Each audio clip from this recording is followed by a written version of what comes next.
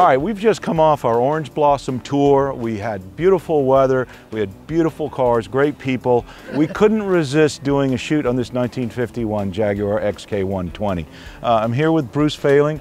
He and his wife Lee drove this car all week. I mean, I love all of these 120s, but this one has got some real subtle modifications that make it really reliable for rallying. Can you tell us a little bit about what you've done and what you, uh, how much you like this car? Sure. Uh, first, I love the 120 because it's it, it was really the truly the first post-war sports car, and in comparison to Ferrari, it was half the price of a Ferrari, and it was a 120 mile an hour car in 1950, which was unheard of. Yeah. To make this car rally friendly, uh, the first thing we did is we put disc brakes on the front, just to give you a little more safety and stopping power.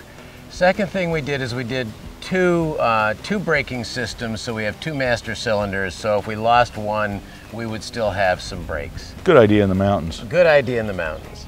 Uh, the next thing we did is we went to a Ron Davis aluminum radiator mm -hmm. with an electric fan because these cars tend to run a little warm. And then we went to put in a five-speed transmission, a Tremec five-speed transmission. Other things, the engine's got a, a, a, different head on it. It's got a C-type head, um, and it's got 208 carbs as opposed to the, the two-inch carbs, which gives us a little more pep.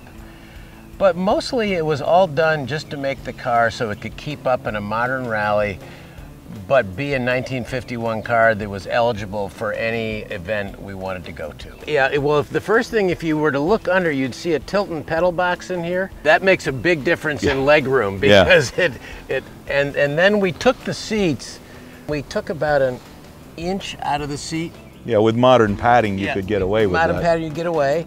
And we then put a bigger indent here, which is where the top frame is. Okay. Now, it's still not, as you observed, as much rake as you I'm a big want. guy. I noticed it right away. Yeah. um, but yeah, we did try to create a little more room. Now, for my, for me, at 5'10", this is fine. I fit in here no problem, and I was perfectly comfortable. But if you're bigger than I am, you're not going to be. This was the first event for this. this a good car. shakedown then. Yeah, it was a yeah. good. It was a good shakedown, and uh, it, it, I did about 500 miles before I got here, and I only used Hagerty twice. well, that's good. So, uh, I mean, you had no problems on the rally. No, uh, ran like no, a top. no. We, we, didn't have to. We didn't have to jump you. We didn't have no. to help you. That's good. That's easy for yeah. us and good for you. Uh, and your wife seems to enjoy the car. She drove it some yesterday. She did. And uh, I drove it uh, this morning, and I can tell you, it, it is a sweetheart. The uh, driving experience is as beautiful as the styling. Uh, you cannot be a huge person and drive an XK120. The 140s and 150s gave you a little bit more room. no doubt. Your steering wheel's kind of right up here, but uh, assuming you can fit in it, uh, they are very, very nice to drive. The brakes were great on this one. Uh, the extra power is appreciated. I mean, this is not as fast as a Corvette or a Shelby Mustang, no. but, but it's plenty fast enough for what we're doing, and it's certainly exciting to go through the gears. Uh, the handling seems to be spot on. There's not a shake or a rattle in the car. I really enjoyed it. Well, thank you. You know, I, have had, this is my third 120. Okay. And the first two 120s, they were box stock. Yeah and and it just wasn't as good a rally car. You know, you had heating problems. You really had to be conscious of your brakes because the drums just weren't that weren't that good. And I said, if I'm going to do it again, I'm just going to make some subtle modifications so I can really enjoy the car. The uh, the 50s were a long time ago. The 50s were 70 years yeah. ago for this car. All right, Bruce. These engines are legendary. They won Le Mans. They used a variation of this engine all the way up almost to the new century. Uh, tell us a little bit about what makes these engines so special. You know, the first thing is I think these engines, if you think about an engine designed in 1948, they were just way ahead of their time. Yeah.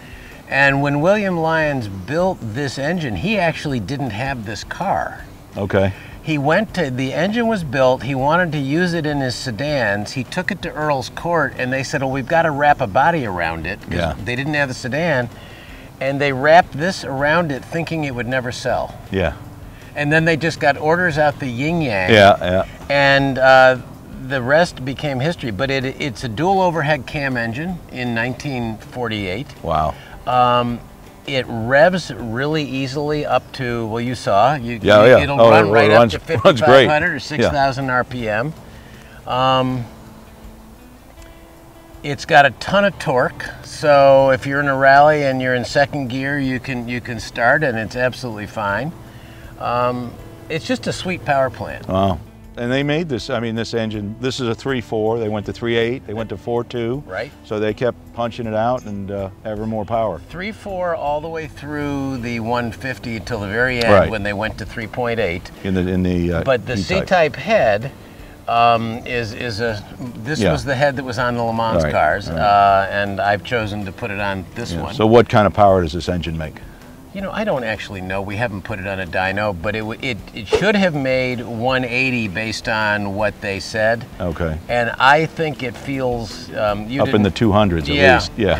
yeah. Okay. Very cool. You know, when you really put the throttle all the way down, you'll be amazed at how much how much more throttle there is to Yeah. work with, and how quickly it just. I got jumps. on it a little bit, but I wasn't going to beat on your car too No, I bad. get it. All right. If you like this sort of stuff, go to classicmotorsports.com and please push that subscribe button. And we've got videos like this every week. Support brands that support classic motorsports. Get your chemical solutions from CRC Industries. Visit crcindustries.com to learn more.